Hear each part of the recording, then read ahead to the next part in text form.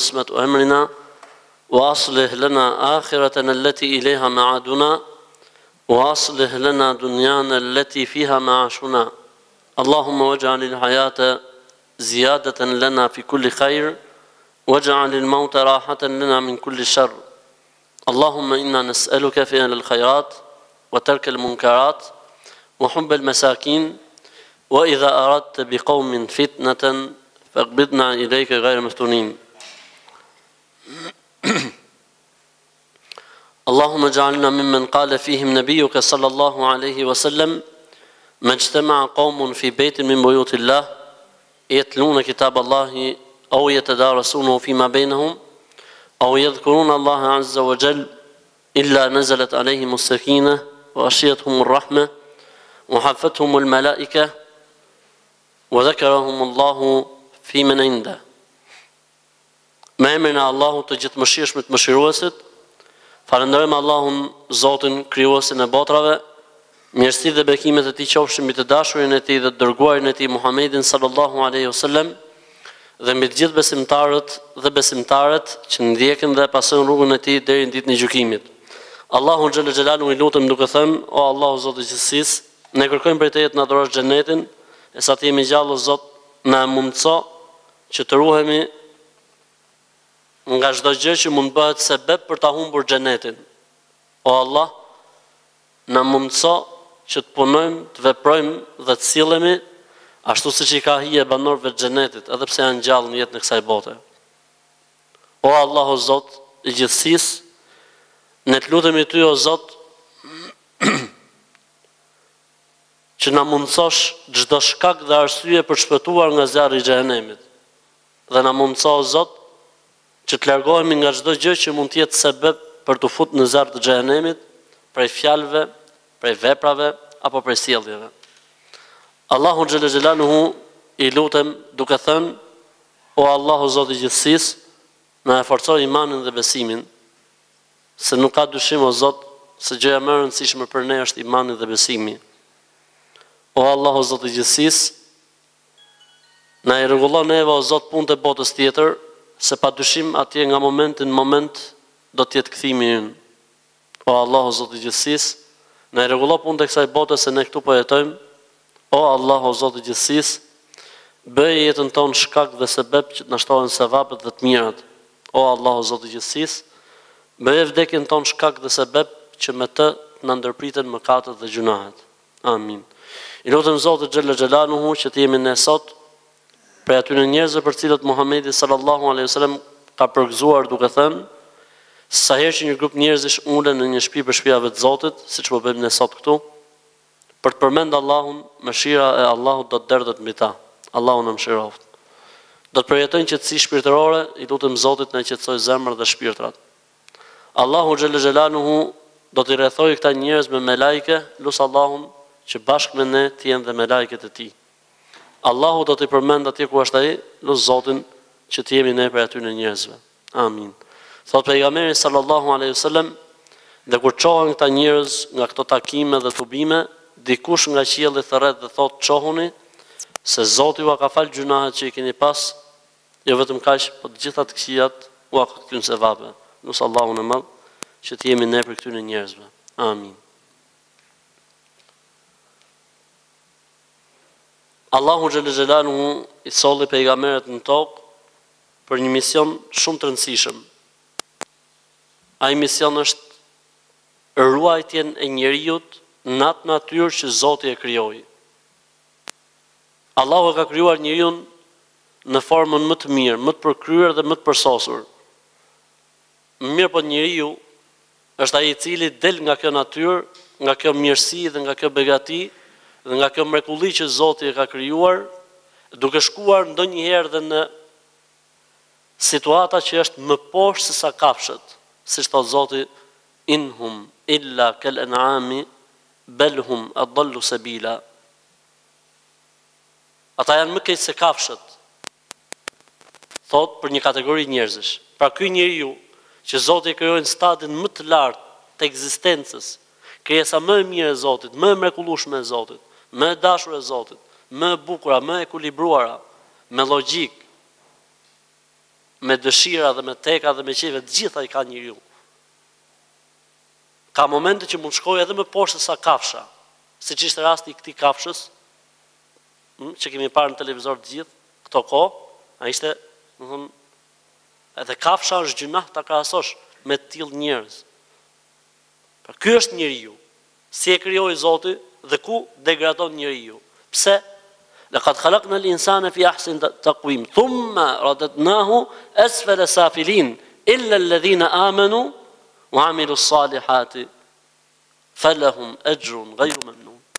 Ne e kemi krijuar njeriun stadin më të lartë, krijesën më të përsosur dhe më të mirë. Dhe ai bie në gradën më të ulët, përveç atyre që besuan dhe bënë vepra të mira. Pra tek njeriu janë të dyja. Mund të shohësh tek njeriu dikë që është më i mirë se sa melajket, po për Zotin, dhe mund të shohësh tek njeriu dikë që është më i keq se vetë shejtani i mallkuar. Allahu na ruaj. Pra njeriu i ka të gjithë komponentët. Varet se kë zhvillon ai. Varet se kujt i jep përparësi ai. Varet se kë ushtron ai. Varet se me kë punon njeriu. Në momentin që punon me të mirën bëhet më i mirë se melajket, thotë Shejhul Islam Tejmije, dhe nuk ka dyshim se besimtarët që do të fitojnë Xhenetin janë më të mirë se melajket.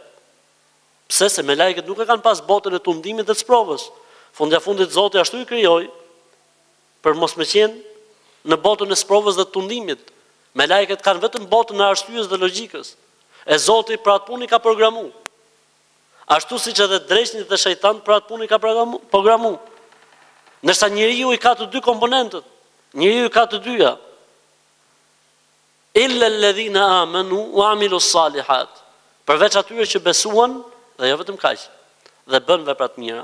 Zoti i Madh për këtë punë i solli pejgamberët, në mënyrë që njerëzit ta ruajnë atë natyrë të bukur dhe të mrekullueshme dhe të pastër dhe të mirë në të cilën Zoti xhelle xhelaluhu ka krijuar njerëzit në origjinë dhe që i krijon njerëzit dhe që i sjell njerëzit në këtë botë. Thotë pejgamberi sallallahu alejhi ve sellem në hadithin të cilin e transmeton Ebu Hurejra radijallahu ta'ala anhu, Kullu mewludin yuledu ala al-fitra, Çdo njeri kur lind, lind në natyrshmërinë e pastër të besimit. Çdo njeri kur vjen në këtë botë vjen i pastër. Fa abawahu yuhawwidanihi aw yunassiranihi aw yumajjisanihi, Pa janë prindërit. Dhe fjala prindërit këtu nuk është thjesht vetëm për prindërit, po bëhet fjalë për çdo njeri që ka tek për çdo për çdo gjë që ka tek njeriu efektin e prindit. Se ndonjëherë efektin e prindit mund ta ketë shoqëria. Ndonjëherë efektin e prindit mund ta ketë mësuesi, ndonjëherë efektin e prindit mund ta ketë dikush tjetër. Mjedisi ose vendi ku rritet njeriu. Dhe është diçka tjetër pra ajo që ndikon tek njeriu për të qenë i krishterë apo hebre apo zerputist apo idhujtar apo ateist e kështu e kështu me radhë. Ndërkohë që njeriu në natyrën e tij e ka të gatuar besimin dhe deklarimin e besimit. Për këtë arsye, të tillë njerëz nuk mund gjejnë kurrë qetësi vetëm se në Islam. Të tillë njerëz nuk mund gjejnë kurrë qetësi vetëm se në Islam. E kush është Islami? Është feja që solli Ademi alayhi salatu selam, feja që solli Nuhu alayhi salatu selam, feja që solli Ibrahimi alayhi salatu selam, feja që solli Musai alayhi salatu selam, feja që solli Isai alayhi salatu selam, feja që solli Muhamedi sallallahu alaihi wasallam. Po mirë, pse gjithë këto pejgamerë dhe këto libra Çdo pejgamer ka miratuar dhe pranuar dhe pohuar profetin pararendës, librin pararendës dhe ardhja e profetit të ri e ka shfuqizuar jo mohuar profetin pararendës. Dhe çdo profet ka përgëzuar dhe paralajmëruar dhe profetizuar për profetin e ardhshëm. Kështu që ai që beson profetin aktual, do të thotë se ka besuar në të gjithë profetët dhe i ka pohuar dhe i ka pranuar. E kush mohon profetin aktual, do të thotë se edhe profetin e vet e ka përgënjeshtruar, i cili tha unë do të iki po do t'ju sjell Zoti, do t'ju sjell Zoti Paraklitos, njeriun që është shumë i lavdruar, që ishte në arabisht Muhammed. Muhammed do të thotë i lavdruari, Muhammed do të thotë i falënderuari. E kur ti nuk i beson asaj që ka thonë profeti yt, ky nuk është faj im. Ti ke mohuar edhe profetin tënd me këtë që vepron apo në këtë mënyrë se si ti sillesh. Allahu xhele shanuhu i solli profetët dhe i zbriti librat që njerëzit të jenë në fe dhe në besim. Dhe kur themi që njerëzit të jenë në fe dhe në besim, kjo nën nuk nënkupton vetëm faljen dhe agjërimin. Po nënkupton rregullimin e njeriut, përmirësimin e njeriut. Largimin nga njeriu çdo gjë që është e dëmshme për të në ahiret, në botën tjetër, po pse jo edhe në jetën e kësaj bote. Ky është qëllimi i pejgamberëve. Rregullimin e njeriut, dlirësimin e njeriut, pastrimin e njeriut.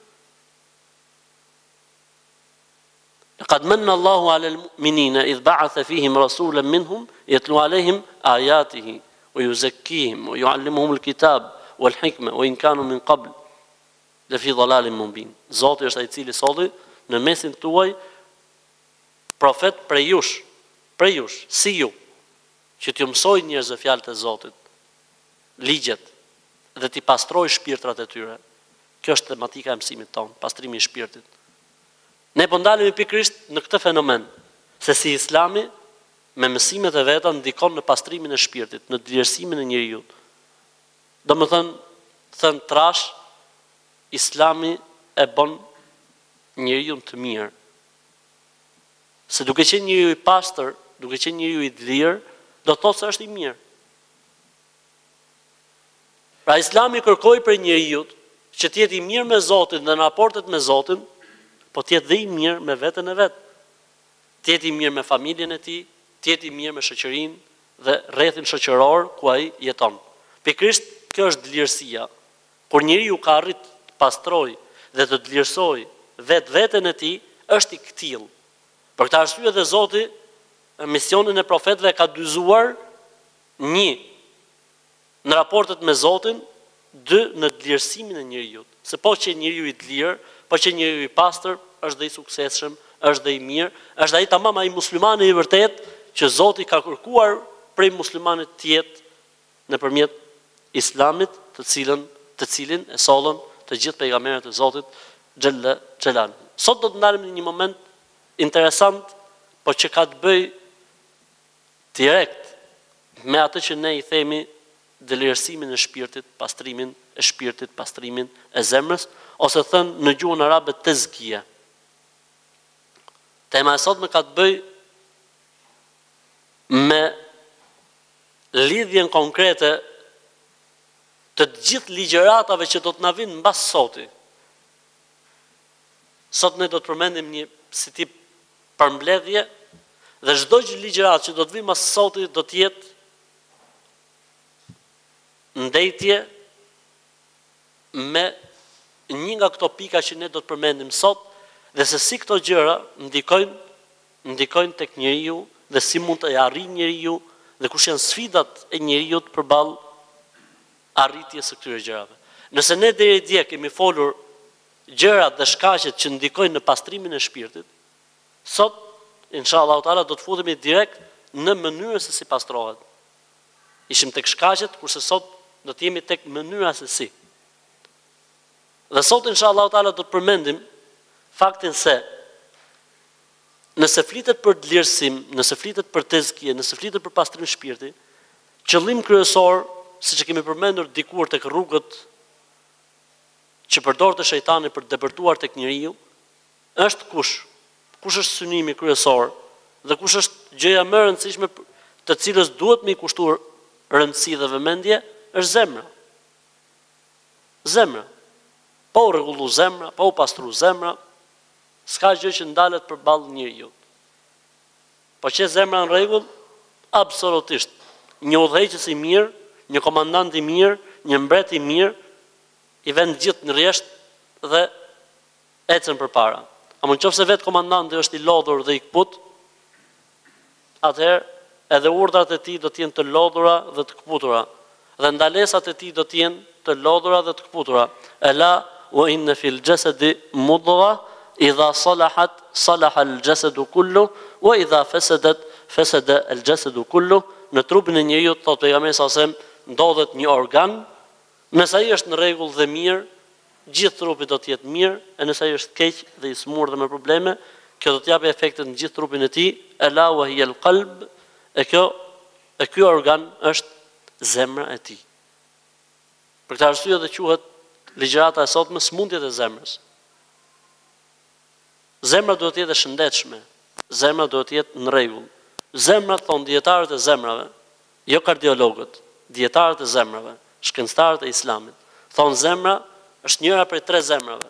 Ose është zemër e shëndetshme që punon mirë, flasim në kuptimin shpirtëror dhe kuptimor, nuk po flasim si organ në kuptimin e muskujve, mishit dhe damarëve apo kapilarëve që ka brenda si organ. Zemër e shëndetshme dhe e shëndoshë është ajo zemër e cila Absolutisht është korrekte me urdhëresa dhe ndalesa dhe jo vetëm kaq po edhe tejkalon urdhëresat dhe tejkalon ndalesat. Si tejkalon urdhëresat? Nuk mjaftohet thjesht me urdhëresat, po bën edhe mbi urdhëresat. Kush quhen mbi urdhëresat? Synetet dhe nafilet.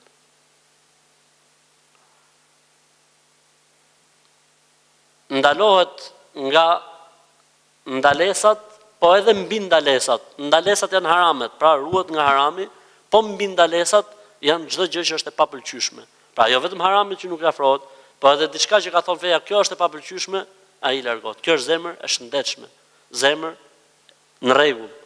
Dhe kanë thënë zemra tjetër është zemra e vdekur, që do të thotë s'i bën përshtypje asgjë prej të mirave E s'i bën përshtypje asgjë prej të këqijave, absolutisht nuk ndikohet me fenë dhe me besimin. Kjo lloj zemre ka një zot tjetër përveç Allahut, që e ka konsideruar si zotin e tij, ose si zotin e saj, zemra zotin e saj. E ky zot quhet interesi vetjak, dëshirat, pasionet, tekat, qejfet, epshi.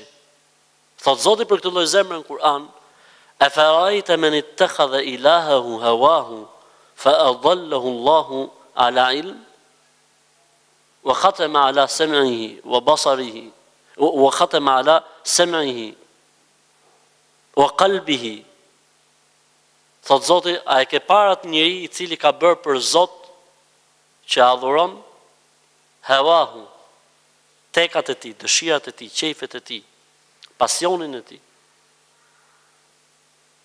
E Zoti ka për ta humb, edhe nëse ka dituri të madhe. Pra nuk shpëton njeriu për shkak të informacionit që ka. Zoti ka për ta humb edhe nëse zotëron dituri të madhe. Jo vetëm kaq, po thotë Zoti do t'ia vulos veshët, do t'ia vulos zemrën, Dhe tek sytë e tij do të vendosim perde që mos të udhëzohet kurrë. Allahu na rujt. Dhe kemi një zemër tjetër që është zemra jonë në përgjithësi, ë që është zemra e smurë, që punon me hope, herë mirë, herë keq, herë mashallah, i përmbahet korrekt, herë bie. Kjo është zemra e smurë. Normalisht që të smuret zemra, ë ka shumë arsye. Ka shumë shkaqe. Dhe gjëja më e rëndësishme është që kur ka një një sëmundje diku, ajo sëmundja ai problemi të largohet. Pra nuk mund zhvillohet njëkohësisht edhe si të themi pjesa e sëmurë, edhe pjesa e shëndoshë në të njëjtën kohë. Pse?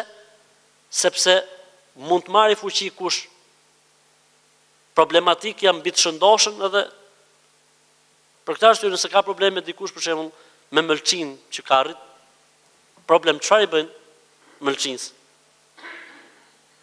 E heqin, apo jo? Ose veshkës, ose ku dëgjon e tjera e tjera. Po kështu janë disa smundje në zemër që duhet me i largu nëse duam që zemrën ta zhvillojmë ashtu siç duhet. Dhe ne do t'i përmendim inshallahu teala këto sëmundje të rrezikshme që rrezikojnë jetën e zemrës. Janë disa prej këtyre gjënave që ne do t'i përmendim kërcënojnë jetën e zemrës.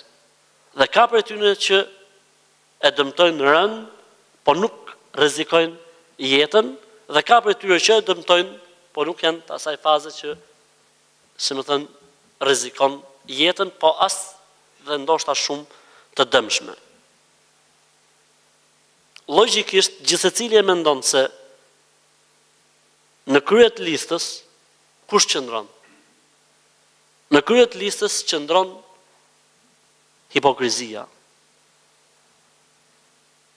Po pse nuk u përmend Shirku, po u përmend hipokrizia? Hipokrizia në kuptimin fetar nuk është ai ndoshta që nënkupton gjuha shqipe. Për këtë arsye dhe ne duhet të korrigjojmë konceptet. Koncepti ynë i muslimanëve mbi hipokrizinë nuk është ai që nëse ti shkon tek shpia për shembull dhe hap fjalorin nuk ke për ta gjetë këtë që unë po them, për këtë arsye koncepti i hipokrizisë dhe i munafikllikut në islam është krejt tjetër nga ai koncepti gjuhësor që nënkuptojnë njerëzit kur thotë hipokrit do të thotë thotë diçka Po realisht nuk don atë që thotë, e bën për hipokrizi, nuk e ka me dëshirë, nuk e ka, nuk kemi për qëllim këtë lloj. Ne kemi për qëllim me fjalën hipokrizi kur njeriu fsheh në zemër dhe strehon në zemrën e tij mosbesimin dhe paraqitet si besimtar, ky është munafik ose kjo është hipokrizia. Kjo lloj sëmundje, Allahu na rujt, e shkatërron zemrën. Këto lloj njerëzish janë në tokë të vdekur po që ecin, hanë, pinë, jetojnë etj etj. A ka mundësi që të ndodhi një gjë e tillë? Normalisht që ka. Nëse është personi në fjalë prej atij grupit që unë sapo lexova ajetin kuranor më përpara, po. Për këtë arsye, munafiklliku si koncept dhe sëmundje në Islam Është shfaqur në Meke apo në Medine? Është shfaq në Meke, në Medine. Pse? Sepse në Medine ishte shteti islam që funksiononte si shtet islam dhe njerëzit perceptoheshin në bazë të asaj që paraqisnin prej devotshmërisë dhe përkushtimit. Pra nëse bëhej fjalë për të marrë një kryetar bashkie në një vend, Shihej, kush është më i devotshëm, kush është më i përkushtuar, kush fal më shumë namaz nate, kush i frikësohet më shumë Zotit, edhe thoshin, filanin do ta çojmë filan vend. Pse? Sepse bëhej fjalë për pas përgjegjësinë mbi një popull, mbi një grumbull të madh njerëzish, gjë që do të thotë se vetëm një që i frikësohet Zotit e çon ujin aty ku duhet. Sepse nëse nuk i frikësohet Zotit, e çon ujin tek hullia e vet. Allahu na ruajt dhe tek interesat e tij. Allahu na ruajt. Atëherë në Medine u shfaq hipokrizia si si koncept dhe zbritën ajetet, Pejgamberi sallallahu alejhi ve sellem lajmërohet nga Zoti për njerëz të tillë, saqë kishte prej tyre që faleshin dhe në saf të parë dhe jo andej ka cepi i safit të parë, por kishte prej tyre që faleshin direkt mbas Pejgamberit sallallahu alejhi ve sellem. Tani çfarë mund të thuash ti për një zemër të tillë? A ka jetë në këtë zemër? Njeri i cili është i gatshëm të sakrifikojë gjithçka nga e dukshmja e tij për hir të interesave të tij jo për hir të Zotit xhelle xhelaluhu. Këtu vetëm jetë nuk bëhet fjalë që të ketë. Vetëm jetë nuk bëhet fjalë që të ketë për këtë arsye dijetarët e Islamit çfarë thonë? Thonë se njeriu kur të besojë duhet të besojë në bazë të argumentave. Që do thotë njeriu duhet duhet ta mendojë këtë punë, duhet ta vrasi mendjen, ore duhet ta bëjë futjen e tij në fe me bindje. Jo të jetë futja e tij në fe aq se sepse kur bëhet si me thënë, pa bindjen e duhur, njeriu devijon, mund devijojë. Ama kur bëhet me bindje dhe mbas një lufte me veten që ka bërë njeriu, dhe kjo ndodh me ne, që kemi kaluar nga një botë jo islame në botën e islamit, nga një botë xhahilash në botën e islamit. Ndërsa fëmijët tonë do ta kenë këtë problem. Fëmijët tonë, të cilët kanë kaluar nga një botë islame dhe vazhdojnë në botën islame. Për këtë arsye, dhe kujdesi për fëmijët duhet të jetë shumë i madh. Për këtë arsye dhe dhe dhe zhvillimi mendor dhe logjik dhe i arsyetimit të fëmijëve në fe është shumë i rëndësishëm ose përndryshe do të na rriten breza të cilët kanë për të na dalë prej feje më shpejt se sa kemi hyrë ne në fe. Pse? Shih për shembull në botën islame, ata të cilët kanë jetuar me islam dhe vazhdojnë në islam. Gjithë mendjen e kanë në perëndim, gjithë mendjen e kanë në botën perëndimore, Evropa, Amerika, ku dëgjon etj etj. Pse? Sepse ata nuk e ndjejnë ashtu siç duhet mirësi, ashtu siç duhet mirësinë e Zotit. E kanë marrë, qysh kur është rrit ajo është rrit me Islam. Kështu që atij i mungon kush? I mungon një përvojë tjetër, që është përvoja e perëndimit, e liberalizmit, Çdo gjë është e hapur, njeriu bën çfarë dojë, ndërkohë që aty në vendin e tij ai nuk mund ta bëjë një gjë të tillë, se flasin njerëzit, thonë njerëzit e ku dëgjon etj etj. Për këtë arsye Omer ibn al-Khattabi radijallahu ta'ala anhu çfarë tha, Kjo fe ka për t'u prish ose ka për t'u shkatërru fije fije, atëherë kur të rriten në Islam breza që nuk njohin injorancën. Pra nëse do të rriten në fe njerëz që nuk dinë se ç'është xhahilijeti dhe injoranca, Amerika, Evropa, Australia, Perëndimi, gjitha kjo është botë injorance përderisa nuk është Islam, është injorancë. Në konceptin Islam të trajtimit të injorancës, jo në konceptin gjuhësor, sepse në konceptin gjuhësor, modernitet, zhvillim e ku dëgjon etj etj. Në konceptin Islam, në momentin që nuk je në fe dhe në besim, në konceptin Islam quhet xhahilijet. Pra botë e injorancës ndaj Islamit dhe besimit. Për këtë arsye, Në momentin që njerëz të shquar nga bota perëndimore, qofshin këto nga bota e artit, apo nga bota e e futbollit, apo nga bota e politikës, apo nga bota e shkencës, pranojnë Islamin, këto duhen proklamuar dhe reklamuar shumë, në mënyrë që rinia islame ta dijë se nuk është këta atë që ju po e kërkoni e kanë provu, e kanë provuar dhe e kanë lënë.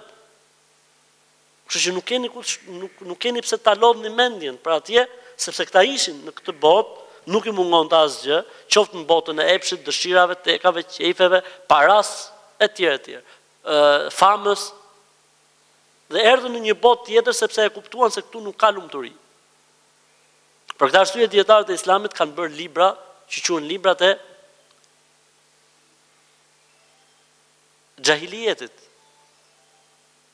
Libër, ka një libër që quhet ka këtë emërtim, Bota e xhahilijetit.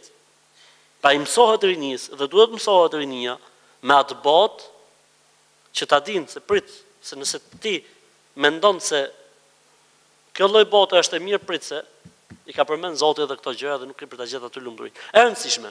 Pra bota e hipokrizisë, më fal, sëmundja e hipokrizisë është shkatërruese.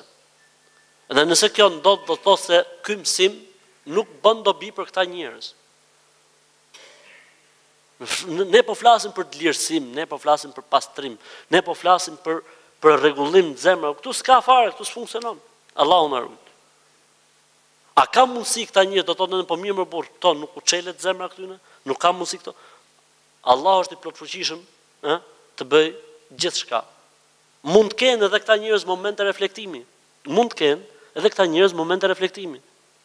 Ëh, mund të qëllojë një goditje e caktuar, gjë që e bën këtë njeri të reflektojë, të kthehet, kthjellohet, thotë mos, nuk ia vlen. Dhe ka, ka mundësi që të kthehen, por në përgjithësi, domethënë njerëz të tillë nuk kthehen në përgjithësi. Allahu na ruaj.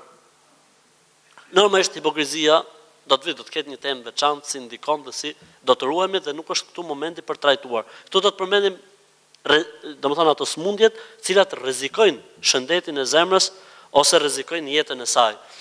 Vjen në në numrin dy të renditjes vjen idhujtaria. Po pse s'u përmend ateizmi? Sepse hipokrizia ka brenda dhe ateizmin, mosbesimin. Sepse ai që bën si musliman dhe faktikisht nuk ka besim është njësoj sikur të ishte ateist. Vetëm se dallimi mes tij dhe ateistit është se ateisti është i deklaruar dhe i qartë dhe di si të merresh me të, ndërsa ky nuk është i qartë, nuk është i deklaruar dhe e ke shumë të vështirë ta trajtosh. Pse? Se ai mund të falet me ty. Ai mund ta mbështeti komën me komën tate dhe supin me supin tat edhe ti e trajton si vlla si musliman ndërkohë që ky njeri nuk është i këtillë po ka diçka tjetër në zemër apo qëllime të tjera në zemër dhe nuk ka qëllimin që ti ke ka ndonjë mënyrë në islam për t'i zbulu këto njerëz s'ka Ne mund të themi që dikush sillet si hipokrit, po që është hipokrit, ne mund të themi sillet si dyftyrsh, po jo që është dyftyrsh, siç do të vijë inshallah teala kur trajtohet kjo temë. Atëherë në numrin dy vjen idhujtaria. Dhe idhujtaria do të thotë ortakëri. Ortakëri e besimit në Zot dhe besimit në zota të tjerë. Që do të thotë, nëse njeriu beson se dikush tjetër përveç Allahut mund të bëjë atë që e bën Allahu xhelle xhelaluhu, ky quhet idhujtar. Po jo, po ky beson në Zot, thotë ka i Zot, or Zotni, në momentin që besoj se atë që e, e bën Zoti mund ta bëjë edhe dikush tjetër,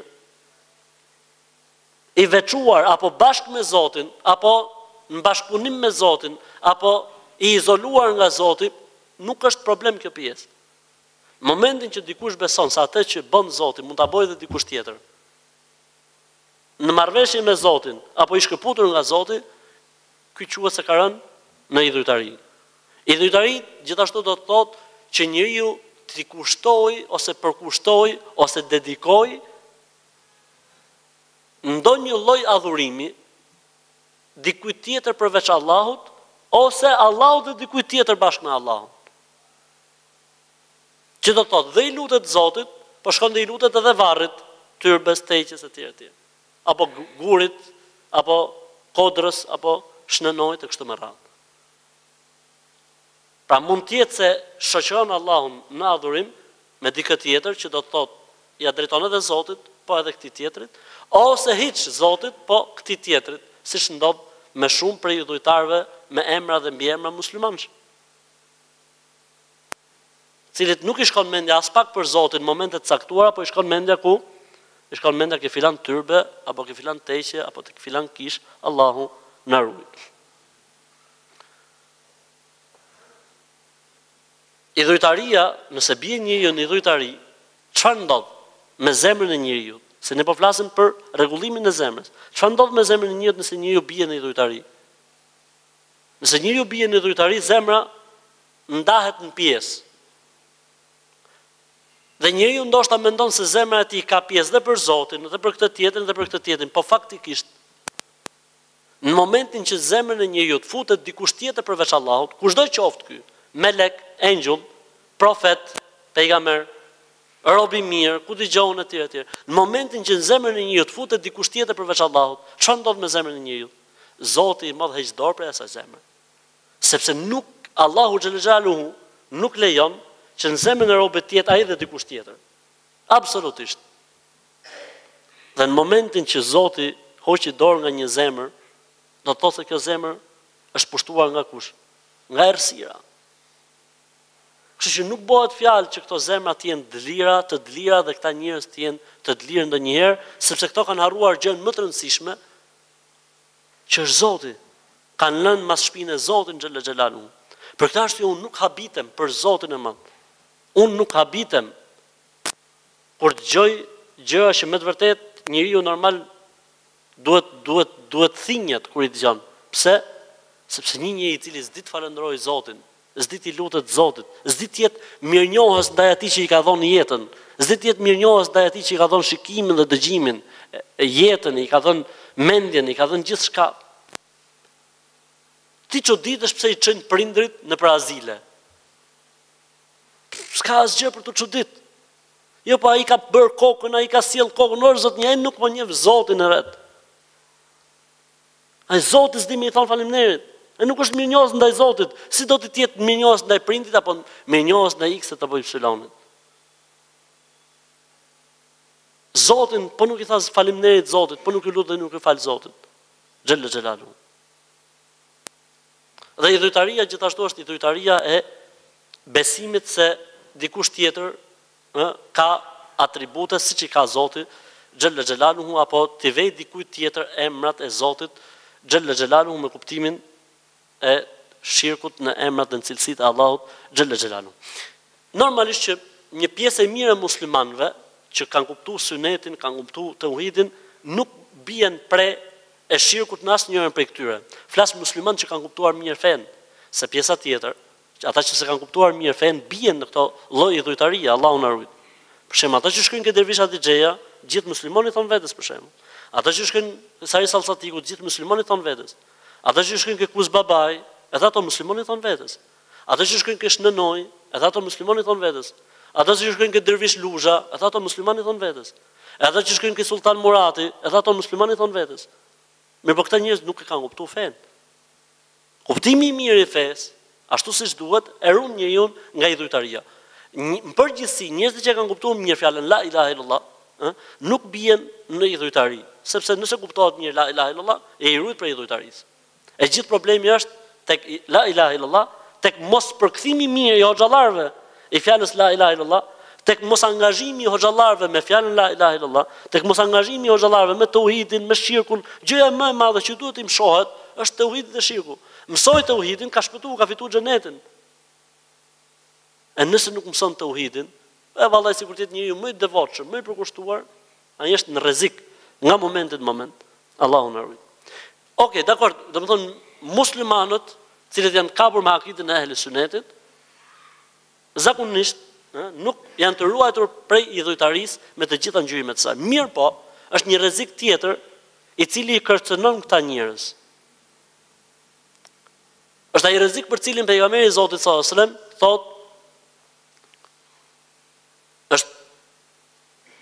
më i errët se errësira e natës, më i fshehtë se ecja e milingonës. Bëhet fjalë për syfaqësinë. Bëhet fjalë për dëshirën e dëgjimit të fjalëve të mira dhe lavdërimit. Allahu na rujt. Po mirë, ku është problemi? Unë po falem se po falem. Si tha ai, tha, kur e di Zoti le ta dinë dhe njerëzit. Jo. Në qoftë se kjo është dëshira jote dhe qëllimi jot, tha Pejgamberi sallallahu alejhi ve sellem, Allahu në botën tjetër, kur dalin përpara Zotit do të thotë, Ana aghna al-aghniyai an ash-shirk. Faman amila amalan ashraka fihi ma'i ghayri taraktuhu wa shirka. Thotë Zoti, unë jam më i pasuri i të pasurve, nuk kam nevojë për ortak. Për këtë arsye nëse dikush ka bërë ndonjë punë dhe në këtë punë ka futur dhe dikë tjetër përveç meje, në qëllimin e tij dhe në dëshirën e tij, unë do ta lë këtë njeri dhe do ta lë punën e tij që ai ka bërë. Ose në një hadith tjetër do t'iu thuhet këtyre njerëzve, shkoni dhe merrni sevapin dhe shpërblimin tek ata njerëz për hir të të cilëve e keni bërë këtë punë. Ka raste që kjo mund të kalojë deri në idhujtari, Allahu na rujt.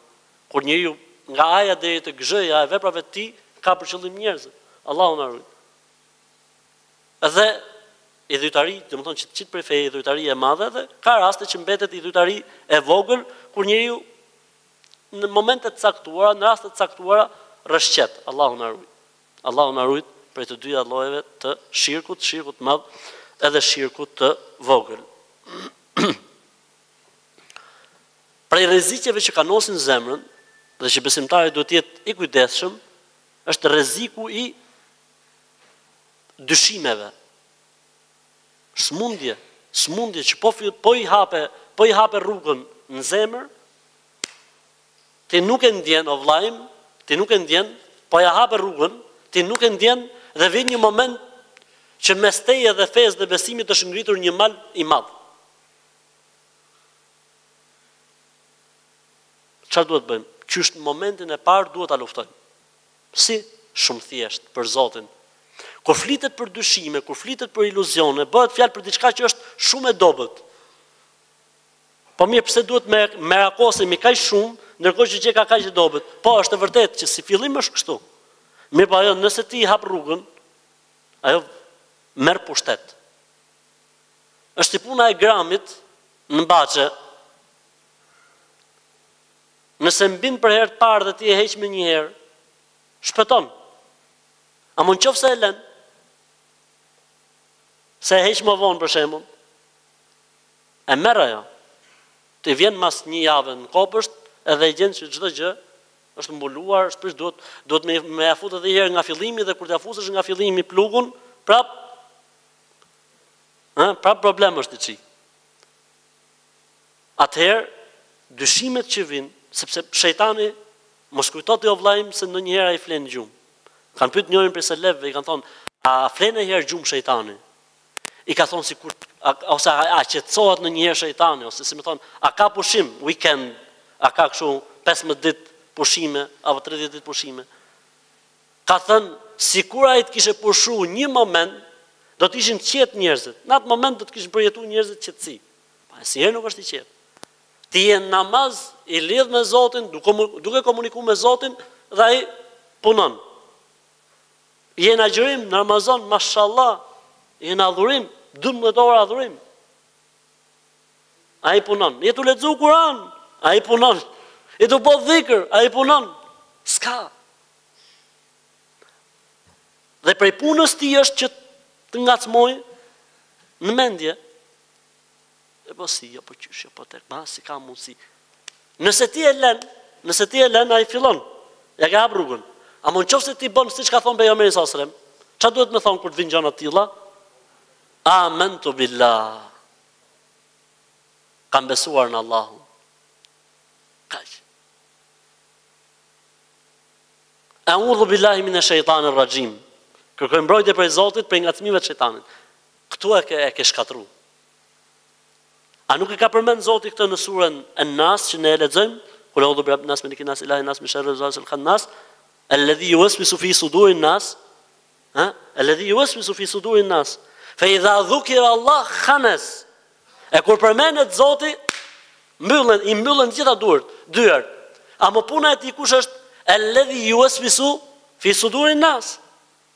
Puna e tij është ngacmimi.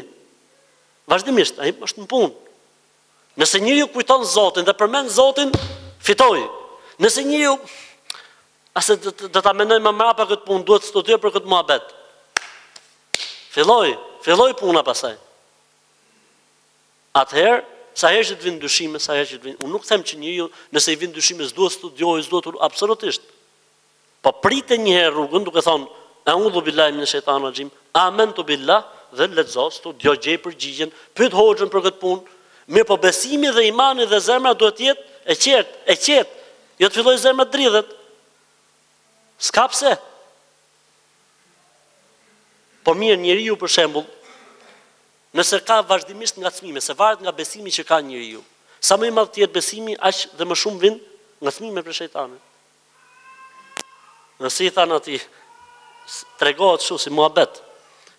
I tha, Pa njoni shejtanin, tha, dhe kishte shejtani në krah, zinxhir, litar, fije, tel e ku di gjo.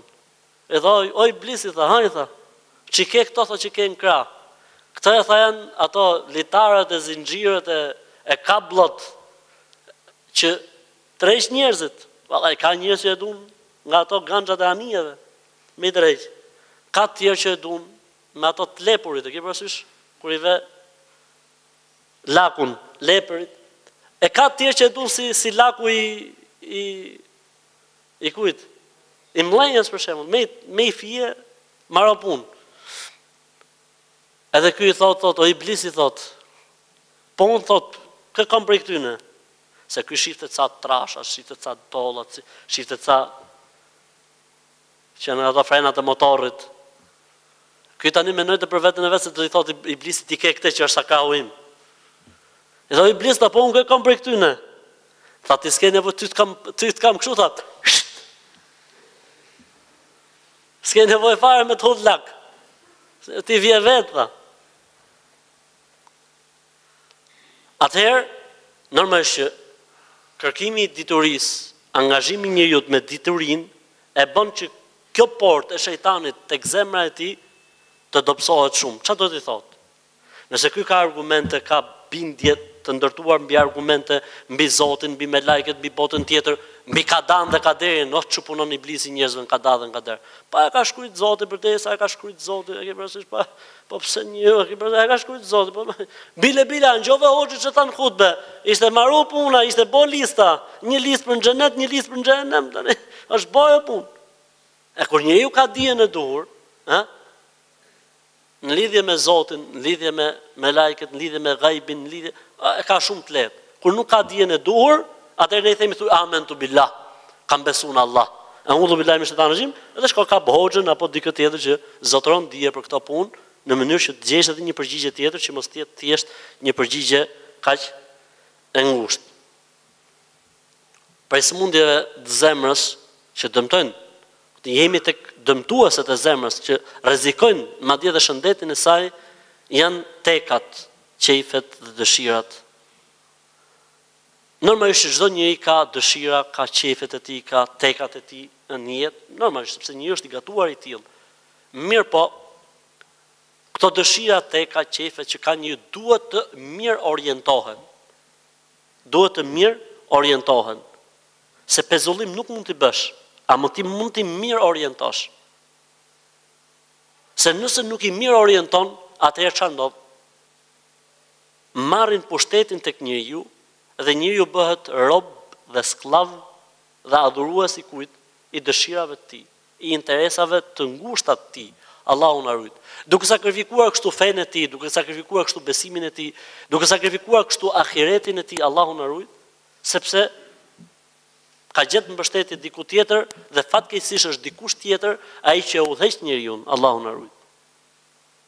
Mirëpo kjo fjala jonë dëshirat, tekat, qejfet është fjalë shumë e madhe, apo jo? Tani, si ta kuptojmë këtë gjë? Në gjërat që Zoti Xhelle Xhelalu ka ndaluar, në gjërat që Zoti Xhelle Xhelalu ka ndaluar, kanë tekat dhe dëshirat individuale kanë pjesë të madhe shumë. Në çdo gjë që Zoti ka ndaluar, Për shembull, të marrim një shembull të thjeshtë. Zoti i Madh ka ndaluar për shembull, themi imoralitetin. Njeriu e ka natyrë epshin për femrën, mashkulli e ka natyrë këtë punë. Po kështu dhe femra e ka natyrë. Dhe Islami nuk tha që duhet me i thon stop kësaj pune. Po çfarë tha? Kanalizoje në halal. Se ajo është siç është, si tek mashkulli dhe tek femra. Për këtë arsye Islami ndaloi murgjërinë. Pse? Sepse nëse do të ishte murgjëria fe dhe besim, atëherë i bie që njeriu të dalë nga natyra e tij. Tregonte një vëlla musliman në Greqi, kishin rregullu thot, e kam përmend duket dhe në një mësim tjetër, i kishin marrë këto shqiptarët, i kishin fut në një manastir murgeshash. Edhe i kishin marrë për të rregullu venin atje. Edhe në një nga këto cepet e manastirit me një fjalë, ishte një si tip ë në tokë hurdhë, a i thoni hurdhë? Kështu, si dhomë, po në tokë. Edhe ishte e mbuluar, i kishin thonë ik këtë duhet ta pastroni ku di gjo se do të mbushet përsëri me ujë siç ka qenë etj etj. Edhe fillun thotë bëjnë punën, e çfarë kishin gjetë aty? Skandal. e mbushur me kufoma fëmijësh të abortuar, ndërkohë që ishte manastir murgeshash. Allah, Allah. Fryma e shejtë e ka fajin? Jo për Zotin e ka fajin shejtani, dreqi, që ju ka frynë këtyne njerëzve. Atëherë islami, feja e Zotit Xhel-le Xhelaluhu, kanalizoi dhe i mësoi Njerëzit si t'i kanalizojnë dëshirat në çdo gjë që Zoti ka ndaluar, ka sjellë përkrah saj dhe të lejuarën. A ndaloi imoralitetin, tha martohu, po s'më del një, dy, s'më dalin, tre, s'më dalin, katër. Vallai po s'dolën dhe katër, Allahu ta lehtsoft. Se dikush thot po as katër s'më dalin. Allahu ta lehtsoft. Ti je rast i rrallë, ë? Rastet e rralla nuk parashikohen në ligje. Zoti i Madh ndaloi alkoolin. Apo jo? Mirëpo njeriu shkon, kij parasysh sidomos bota që kanë ardhur si puna jonë nga xhahilijeti në islam, E zoti i madh të ka sjell sa lloje pirash, pijesh hallall. S'numërohen dot. Madje, madje edhe si ato njësoj. Apo jo? Në fund fare u fut dhe verë në hallall. Shas në gjënë e plakë se thotë, estagfirullah ça thotë hoxha. E rëndësishme, pra zoti i madh ta ka lehtësu ty situatën, meqë njeriu ka prirje, ka prirje, Atëherë ruhu nga ato gjona që Zoti i Madh ka ndaluar, sepse në to ka në to ka anim të njeriut tek epshi, tek pasionet e dëmshme, ë? Pra mund të themi përkthimi më i saktë i fjalës esh-shehewat, pasionet e dëmshme.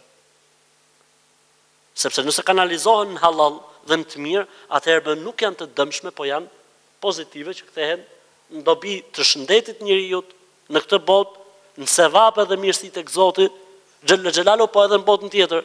Si tha Pejgamberi sallallahu alejhi ve sellem, madje tha kur ndonjëri prej jush kryen kontaktin seksual me bashkëshorten e tij, i shkruhet tek Allahu sevap.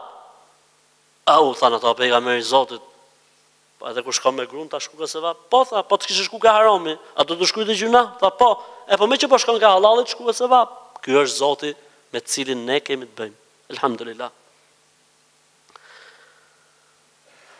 Pastaj vijnë disa sëmundje të tjera, të cilat ndoshta në renditje ne mund të kemi bërë gabim renditje, po nuk është problem, po këto që ne ishim deri tani, dy të parat ishin rrezik për jetën, këto që ishim deri këtu rrezikojnë rëndë shëndetin e zemrës, ndërkohë që do të vijnë disa të tjera që janë goxha të dëmshme, goxha dëmtuese, po nuk rrezikojnë jetën e zemrës, po edhe nuk janë fatale për për jetën e saj, po që janë problematike janë problematike. Nuk e di sa kohë kemi. Atëherë le të shohim diçka përpara ezanit, pastaj të shohim edhe mbas ezanit inshallah taala. Prej këtyre sëmundjeve, prej këtyre sëmundjeve që godasin zemrën dhe ne duhet të jemi shumë të kujdesshëm për ta ruajtur zemrën tonë, është sëmundja e mendjemadhësisë. Thash, ndoshta u mund të kem gabim në renditje, po nuk është problem. Na e boni hallall. Sëmundja e mendjemadhësisë. Mendjemadhësi në kuptimin gjuhësor do të thotë që njeriu ta ndjejë veten më superior, superior se të tjerët, ë, t'i duket, po në kuptimin fetar, përveç kësaj, Pejgamberi i Zotit sallallahu alejhi ve sellem ka dhënë një përkufizim shumë interesant. Pse konsiderohet sëmundje? Sepse Pejgamberi sallallahu alejhi ve sellem thotë ka fol keq për mendjemadhësinë Pejgamberi sallallahu alejhi ve sellem. E ka përmend Zoti në Kur'an disa herë që mos me mendjemadhësi. Në Kur'an Po kështu dhe Pejgamberi i Zotit sallallahu alejhi vesellem thotë, Ai që ka në zemrën e tij qoftë edhe një grimcë të vogël mendjemadhësi s'ka për t'u futur në xhenet. Me çfarë kuptim s'ka për t'u futur në xhenet? Ë? Domethënë ka dy kuptime, s'ka për t'u futur në xhenet me të parët që do të futen në xhenet, ose s'ka për t'u futur në xhenet pa u shpërla dhe u pastrua njëherë në zjarr të xhehenemit, Allahu na rujt, qoftë se nuk e kap mëshira e Zotit. Pejgamberi sallallahu alejhi wasallam u pyet për mendjemadhësinë, në konceptin islam të mendjemadhësisë dhe çfarë tha? Dy gjëra. Në qoftë se njeriu i ka do të thotë se ka rënë në sëmundjen e madhësisë. Një, refuzimi i të vërtetës, dy, injorimi i njerëzve. Njeriu është krijesa më e mirë e Zotit, s'ke pse t'i injorosh. njerëzit ose nënvlerësimi i njerëzve. Dhe e dyta, mospranimi i të vërtetës ose injorimi i të vërtetës. Kjo është mendjemadhësia. Të vjen e vërteta dhe për hir të problemeve që ti ke, nuk e pranon të vërtetën. Ky është problem shumë i madh pastaj. Pse? sepse e ke ngrit veten tënde aq lart sa që nuk do pastaj që ti të zbresësh tek e vërteta ta marrësh vërtetën. Pse? Sepse ti kujton se duke zbrit tek e vërteta dhe marrë të vërtetën do të humbësh ato që ti je paraqit apo je shit deri dje. Dhe harron, dhe harron se për Zotin tek njerëzit, një njeri që zbret tek e vërteta dhe e merr të vërtetën, ngrihet më shumë dhe vlerësohet më shumë Se sa po të vazhdojë në atë të kotën. Tani lind pyetja, ku do ta dijnë njerëzit se ky njeri është në kotën dhe po vazhdon qëllimisht në kotën? Ku do ta dijnë njerëzit? Komunikimi i njerëzve me me çdo person është në dy mënyra. Është komunikimi i jashtëm, që është vështirë për ta kuptuar, personi siç e ka në zemër apo mbron të kotën dhe po vazhdon akoma në atë kotën që ai e di që është në kotë apo si është puna e tij dhe kemi një komunikim tjetër që është komunikimi nëpërmjet banorëve të qiellit. Nëse njeriu injoron të vërtetën, nuk e pranon të vërtetën, e refuzon të vërtetën, si mendoni ju se fiton dashurinë e Allahut apo hidhërimin e tij? Hidhërimin e tij. E nëse Allahu hidhërohet për një njeriu, banorët e qiellit janë kënaqur prej tij apo hidhërohen prej tij? Allah, hidhërohen. Për këtë arsye, dhe ky njerëz nuk mund të jetë i dashur tek zemrat e njerëzve, nuk mund të jetë i pranueshëm tek zemrat e njerëzve.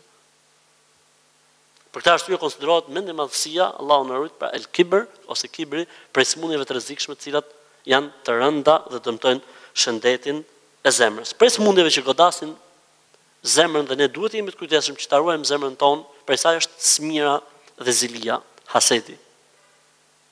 Po pse konsiderohet sëmundje?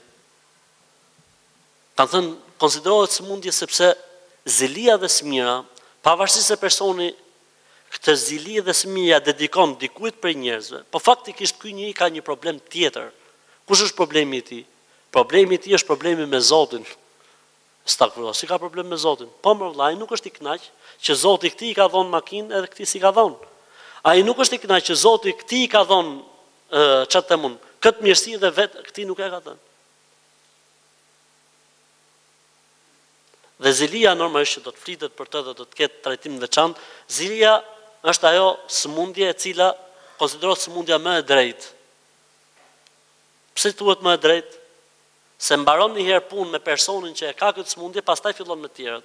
Pra ai që vun i pari dhe që smuhet i pari dhe që i vun pasojat i pari të smundjes së zilisë dhe smirës kush është? Ai që e ka. Atij fillojnë i dalin thinjat, atij fillojnë i bijnë flokët i pari. Ai e vun një herë. Nuk kam për qëllim asnjë prej jush. Ë, Ai është Ai që e vun i pari, Ai është Ai që e, e, e, e bren i pari. Ai i pari ka për t'u bo me kancer, ka për t'u bo me, ku dëgjon ça të them unë ty, me verem, thot populli. Pastaj Ai, normalisht që këtë do ta shfaqi, kjo mund të shfaqet pastaj në mënyrën se si Ai sillet, në mënyrën se si Ai injoron atë tjetrin, me në, në mënyrën se si e përgojon atë tjetrin, e kështu me radhë. Ama konsiderohet sëmundje e rrezikshme? Po, konsiderohet sëmundje e rrezikshme. Konsiderohet sëmundje e rrezikshme atëherë kur njeriu punon në sajë të saj. Se që ta ketë njeriu ndjesinë e xhelozisë nuk është problem. Ato ishin vëllezërit e Jusufit alejselam dhe patën zili për vëllain e tyre. Dhe është e vështirë që njeriu shpet, shpëtojë prej saj. Për këtë arsye, thuhet se kur e kanë pyetur Hasan al-Basriun, ka thënë nëse do të kishte shpëtuar njëri prej hasedit, do të kishte shpëtuar, do të kishin shpëtuar vëllezërit e Jusufit. Po përderisa ata nuk shpëtuan do të thotë se është e vështirë që njeriu të shpëtojë prej hasedit. Mirëpo, mënyra se si njeriu e trajton hasedin. Hasedi çfarë është? Energji negative që zhvillohet në brendësinë e njeriu, e cila pastaj jep efekte në shikimin e tij, në të folurën e tij, madje ndonjëherë edhe në sjelljen e tij dhe në veprimet e tij. A mund të shpëtojë njeri prej zilisë? E vështirë është. Mirëpo çfarë ndodh? Ai që është besimtar, këtë energji dhe këtë gjë që zhvillohet brenda tij mundohet ta kthejë në punë dhe në vepra të mira. Si garon mundohet edhe ai të bëj, kurrë nuk e ka dëshirën që Zoti t'ja t'ja humbi atij tjetrin. Kanë thënë hasedi është dy llojesh, hased i cili thotë mos ta ketë ai ta kem unë, po ka dhe i tjetër, mos ta ketë ai ani se s'e kam dhe unë. Ama edhe ai mos ta ketë. Allahu na rujt. Atë kjo lloj energjie negative që zhvillohet tek njeriu, nëse njeriu e angazhon në të mirë, shpëton.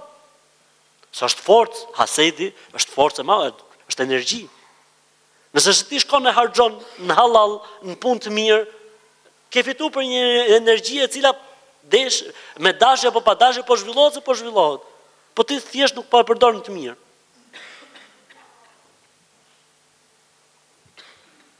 Ka vajtë? Mirë, inshallah teala, mjaftojmë me kaq deri në ezan, pastaj shohim çfarë mund të bëjmë mas ezanit.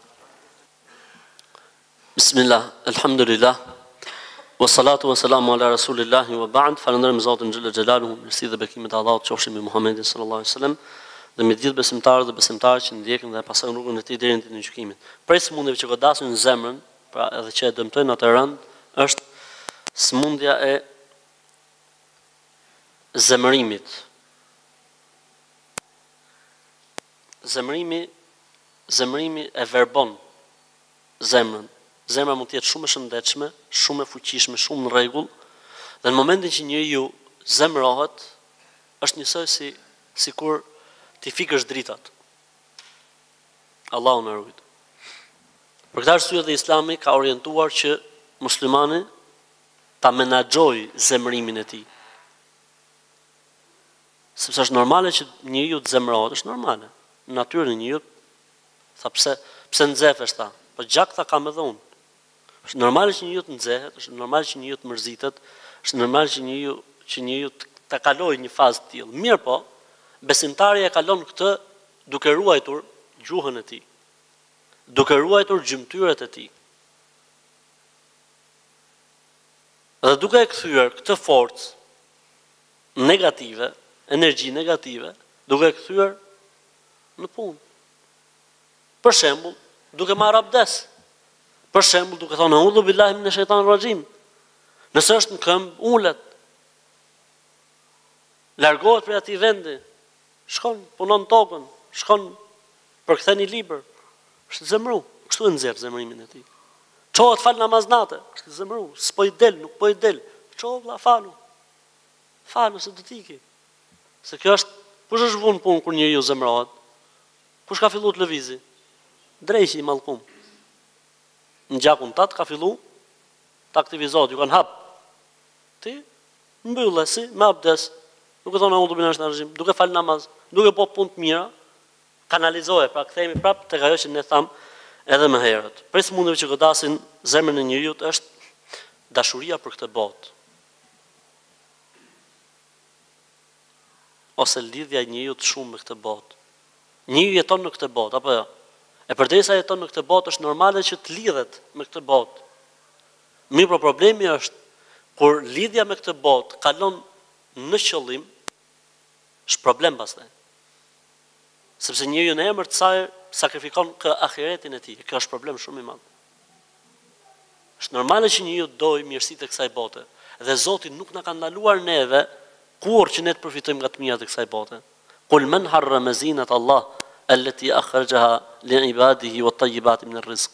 Thuaj, kush i ka bërë haram të mirat e Zotit, që Ai i ka nxjerrë për robët e Tij? Zoti i madh e solli, i solli gjithë këto të mira që ne të përfitojmë prej këtyre të mirave. Mirëpo, mirëpo, nuk duhet të jetë përfitimi i këtyre të mirave në emër të kujt? Të besimit, në emër të ahiretit. Se ka mënyrë dhe mënyrë. Ka mënyrë dhe mënyrë për të fituar të mirat e kësaj bote. Ka mënyrë që është hallall dhe e lejuar dhe ka mënyrë që është haram dhe e ndaluar. Varet se ku pozicionohet besimtari. Pastaj nëse nuk e arrin dot, s'ka problem për besimtarin. Pse? Sepse thotë kam ahiretin. Vetëm një futje në xhenet t'i harron gjitha vujtjet dhe dhimbjet dhe problemet e kësaj bote. Ama mos harro se edhe pjesa tjetër, është e saktë. Një futje në xhehenem t'i harron të gjitha të mirat e kësaj bote. Prandaj edhe ti, nëse je i mençur dhe i zgjut, i bën llogaritë mirë. Prej sëmundjeve që godasin zemrën e njeriut është kopracia ose që është dhe më keq se sa kopracia është lakmia. Kush është dallimi mes kopracisë dhe lakmisë? Kush është kush është dallimi mes lakmisë dhe kopracisë? Ngreni dorën edhe merrni librin. Po?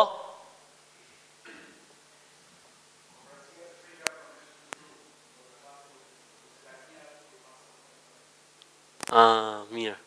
Mashallah. Ku e ke gjetë këtë këtë këtë dallim? Ku e ke dëgju këtë lloj dallimi? Atëherë është e saktë. Lakmia është që të kesh sa më shumë. Ndërsa koprracia është Atë që ke mos ta japësh. Ti kishe mendim tjetër? Edhe ti. Pasoje.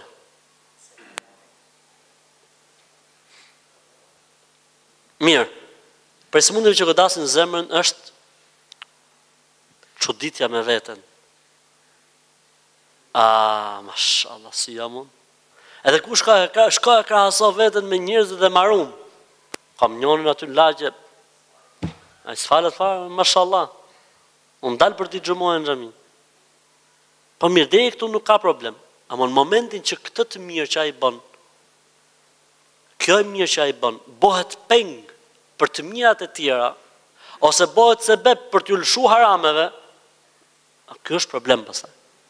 Dhe kjo është prej sëmundjeve që godasin zemrën e njeriut. Dhe kjo sëmundje godet edhe Edhe ata që vinë në xhami. I duket vetja një moment, mashallah, si jam unë. Ha i thash njëri, tha, a, jam mirë, mashallah, tha. Jam mirë, tha, mashallah. Po pritë e burë se... Është është e vështirë që njeriu të vlerësojë veten e tij. Ha? Se tha Zoti, mos i vlerësoni vetet tuaja. Se Zoti e din se kush është realisht. Ti thu inshalla shpresojmë të jemi mirë zoti na faltë gjithmonë shife veten tate në synë kritik jo në synë ë prej sëmundjeve që godasin zemrën e njeriut është prej sëmundjeve që godasin zemrën e njeriut është zullumi dhe padrejtësia njerëzit e kanë natyrë e kanë natyrë zullumin dhe padrejtësinë Ç'do të thotë e kanë natyrë? Që do të thotë vetëm besimi dhe feja dhe frika ndaj Zotit, dëshira për ahiretin e bën që të dalin nga kjo lloj natyre. Se përndryshe njeriu është zullumqar. Dhe zullumi nënkupton, çfarë nënkupton fjala zullum? Kur themi filoni është zullumqar, çfarë nënkupton? Me i bo keq, kjo është prej llojeve të zullumit. Me që the njërën prej llojeve të zullumit ipja. Të bësh atë që nuk e meriton, ose kjo është padrejtësia. Dhe padrejtësia sa llojesh është? Padrejtësia sa llojesh është? Se duhet t'i marrim këto para para i kamentit. Padrejtësia sa llojesh është. Jo, me dorë, me dorë, se kështu. Hë, Ani. Është Ani. Ani duke folë. Po, Ani? Po? Pse m'ran pse? Allahu të faltë. Po Miro, sa lloj është ti?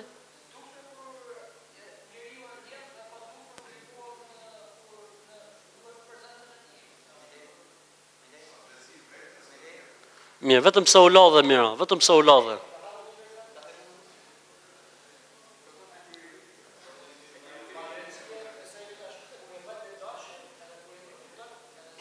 Sa llojesh është? Kjo pra është padrejtësia, po sa llojesh është? Hajt, meqë u lodhe, ipja, vlla. Tani, ju lodhë unë se pa gjozë del. Po?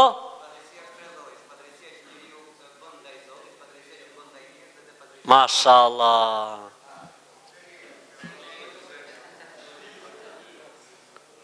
Këta të dyja, po të tjerët? Mirë, ta bëjmë një pyetje nga mësimi? Ta bëjmë një pyetje nga mësimi.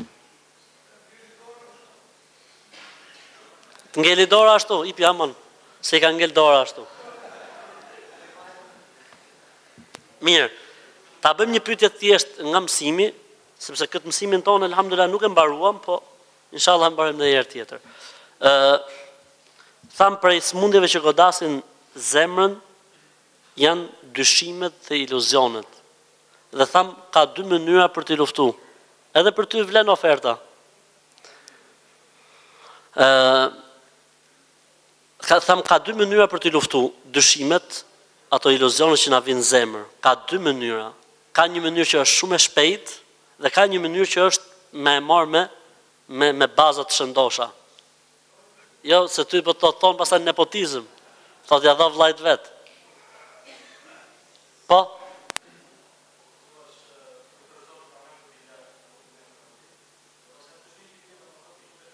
Bravo, mashallah. Mirë. Kemi edhe një tjetër. Tham gjatë mësimit që është një lloj shirku që edhe muslimanët që nuk kanë problem me shirkun dhe muslimanët që nuk kanë problem me atë idhujtarinë që ne e dimë, idhujtaria në rububije dhe uluhije dhe çfarë çfarë, bijnë dhe muslimanë. Po kush është ai lloj shirku? Vetëm syfajësia apo ka dhe diçka tjetër? Janë dy lloje. Syfajësia me të pa njerëzit mirë, po ka dhe një tjetër? Dëshira për të dëgjuar fjalë të mira. U lodhe, kështu që e meriton. Mirë vëllezër. Do të mundohemi inshallah taala që në mësimet që do të vijnë në vazhdim do të jetë angazhimi jonë në në mësimet e tezkies në dy fusha. Do të jetë angazhimi jonë në mësimet në vazhdim mos u çoni se nuk është bërë kijameti.